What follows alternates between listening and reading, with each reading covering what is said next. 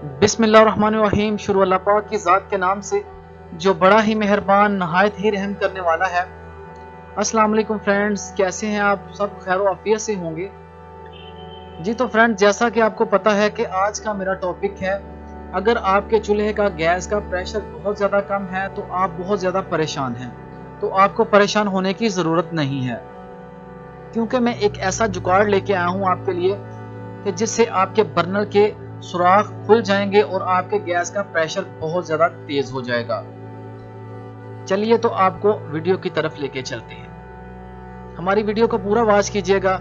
जो नए दोस्त हैं, जो नए फ्रेंड्स हैं, उनसे रिक्वेस्ट है, हमारे चैनल को सब्सक्राइब ज़रूर कीजिएगा, क्योंकि आने वाली हर वीडियो आपको मसूल होती रहे। बहुत शुक्रिया।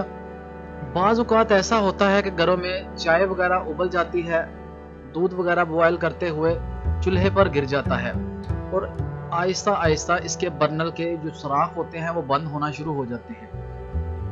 हमने इसको खोलने के लिए एक जुगाड़ लगाया है। वो जुगाड़ बहुत ही आसान और बहुत ही सस्ता है। सबसे पहले आपने लेना है कास्टक सोडा।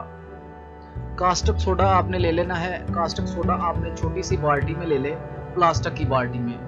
ये आप बात जहन में रख लें कि प्लास्टिक ही की बाल्टी में इसको डालना है, क्योंकि अगर आप सिल्वर के बर्तन में डालेंगे ये सिल्वर का बर्तन आपका काला हो जाएगा, क्योंकि ये मुझसे गलती हो चुकी है। मैंने सिल्वर के बर्तन में डाल के इसको रखा था, जो बॉल था, ये काला हो चुका है। लेकिन आपने गाइस ये गलती नहीं करनी, क्योंकि आपने प्लास्टिक की बाल्टी लेनी है। प्लास्टिक की बाल्टी में पानी भर लें आप। पानी डालने के बाद एहतियात से इसके बर्नर उठा के इसमें रख दें। अगर आपने ग्लव्स वगैरह पहने हुए हैं तो आप इजीली इसमें रख सकते हैं, कोई मसला नहीं है। कोशिश करें कि अगर आपके पास ग्लव्स हैं तो ग्लव्स का इस्तेमाल ज़रूर करें। और ये हमने इसमें रख दिए हैं, दोनों ही बर्नल। ठीक 10 मिनट बाद ये पानी उबलना शुरू हो जाएगा और मैल साइड पे होना शुरू हो जाएगी। इस पानी को ज़ाया मत कीजिएगा, ये पानी बहुत काम आएगा। अगर आपके ये चूल्हे पे भी अगर जंग वगैरह लगा हुआ है तो वो भी ये साफ़ कर देगा। मैल या काई जमी हुई है।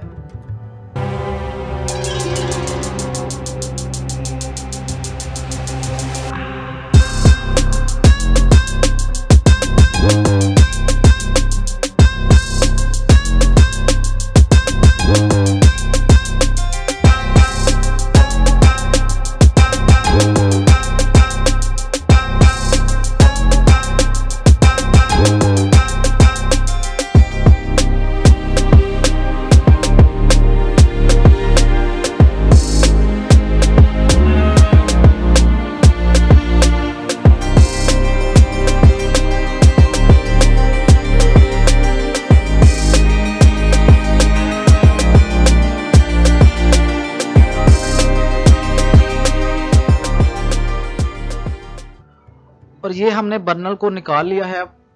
बर्नल को अच्छी तरह साफ़ कर लेंगे, धो लेंगे और जो कूची होती है स्टील की, उसके साथ हम इसको अच्छी तरह साफ़ कर लेंगे। और इसके बाद एक काले तेल की बोतल मिलती है।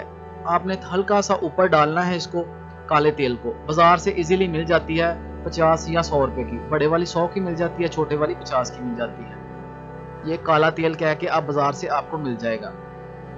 थोड़ा सा आपने बर्नल के ऊपर डालकर आपने इसको अच्छी तरह रगड़ लेना है, जो भी जंग वगैरह होगा आपका साफ़ हो जाएगा।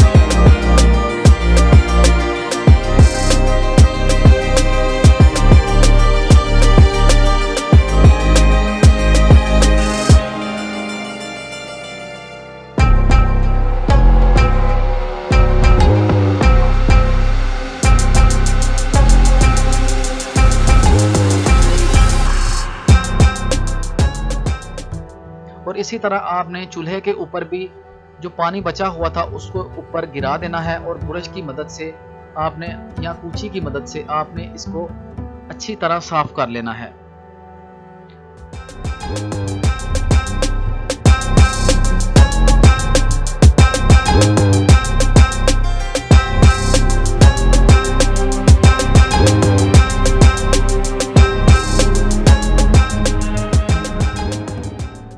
आहिस्ता आहिस्ता आप देखेंगे 10 मिनट आप उस पर पानी डाल के छोड़ दें और उसके ऊपर दोबारा ब्रश या पूछी वगैरह लगा दें।